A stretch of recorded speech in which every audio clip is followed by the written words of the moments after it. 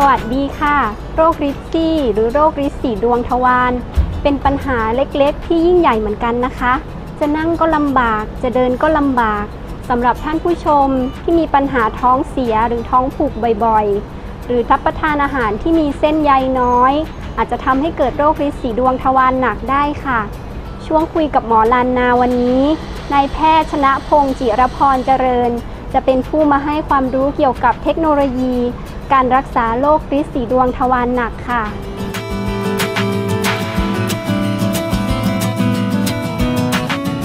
ริดสีดวงทวารมีกี่ประเภทคะคุณหมอ และประเภทไหนที่รุนแรงที่สุดสำหรับคนไข้ค่ะ ปัจจุบันเราแบ่งลิสีดวงทวารออกเป็น 2 ประเภทใหญ่ๆนะครับเนาะค่ะคือลิสีดวงทวารภายในกับลิสีดวงทวารภายนอก ค่ะ ซึ่งทั้งสองประเภทเนี่ยมีอ่าลักษณะในการที่จะ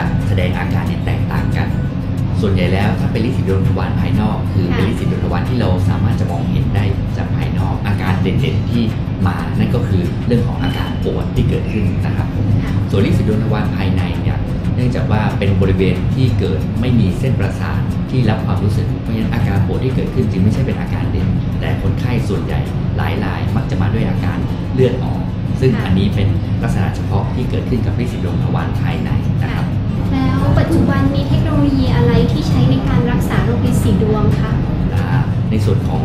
พยาบาลลานนาเองเนี่ยเราสามารถที่จะทำการรักษาลินสีดวงได้ทั้งในส่วนของการรักษาที่ต้องอาศัยการผ่าตัดและไม่ต้องผ่าตัดค่ะในส่วนของการรักษาที่ไม่ต้องอาศัยการผ่าตัด เราก็มียาที่มีความสำคัญในการที่จะช่วยรักษาลินสีดวงนอกเหนือจากนี้แล้วก็อาศัยวิธีการ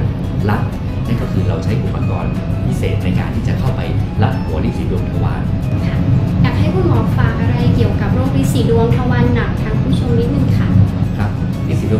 เป็นโรคที่ไม่ได้น่ากลัวอย่างที่เราคิดค่ะซึ่งถ้าได้รับการตรวจรักษาที่ถูกต้องและได้รับการวินิจฉัย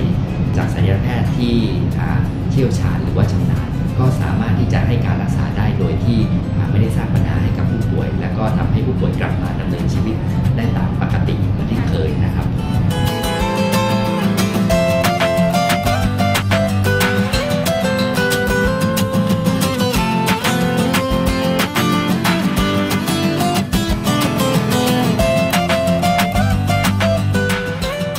ชมคะ อย่าลืมปฏิบัติตัวตามที่คุณหมอได้แนะนำนะคะ หากท่านมีอาการผิดปกติ ต้องรีบปรึกษาแพทย์โดยทันทีค่ะ ช่วงคุยกับหมอลันนาวันนี้ได้หมดเวลาลงแล้ว พบกันใหม่ตอนหน้านะคะ สวัสดีค่ะ